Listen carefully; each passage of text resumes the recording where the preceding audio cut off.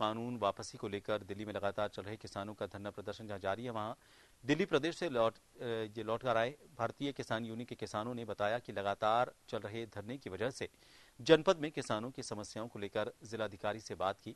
Railway की तरफ़ से किसानों की भूमि का अधिग्रहण किया गया था, जिसका किसानों को अब तक उचित मूल्य नहीं मिल पाया है। जनपद के अधिकारियों ने वादा किया था कि जल्द ही किसानों को उनकी ज़मीन का उचित मूल्य दिलवाया जाएगा, लेकिन आज तक उन्हें नहीं मिला है। इसको लेकर जिलाधिकारी से किसानों की समस्याओं को लेकर वार्ता की थी। अगर जल्द ही किसानों की जमीनों का मूल्य नहीं मिला तो किसान सड़कों पर उतरकर आंदोलन करेगा। मांग को लेकर यहाँ जिलाधिकारी से मिले आप लोग? हम तो विंडो तो वहाँ उड़ रहे। कि आना में दिल्ली में हम आ जाए कुछ काम थे यहाँ से यहाँ। यहाँ एक अंडर पास नहीं बन रहे लोगों के। गन्ने गन्ने का भुगतान तो हुए हुआ नहीं है। अंडर पास भी नहीं बन रहे। लोग परेशान हैं। कहाँ को जहाँ हैं? डीएम साहब से मिले थे। कमिश्नर साहब से मिलेंगे, उसके बारे में।